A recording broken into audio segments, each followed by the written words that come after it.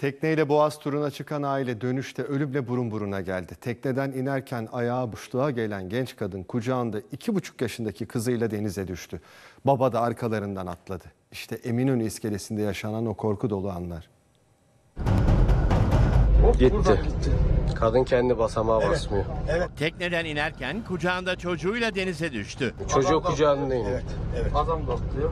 Baba da arkalarından suya atladı. Korku dolu anlar yaşandı.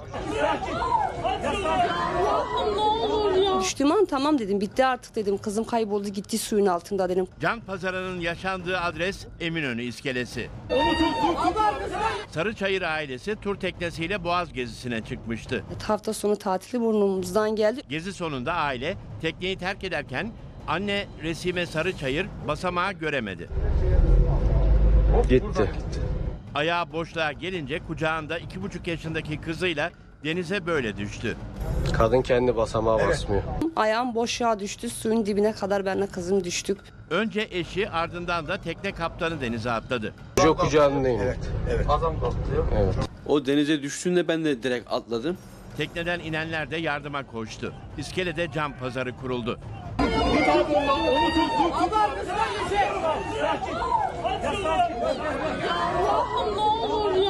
Anne de çocuğu da zamanında kurtarılarak denizden çıkarıldı. Kızımı havada tutuyorum böyle kolum elim yukarıda. Onu suyun üstünde tutmaya çalışıyorum ben. Hastaneye kaldırılan anne ve kızdan iyi haber gelince de herkes rahat bir nefes aldı.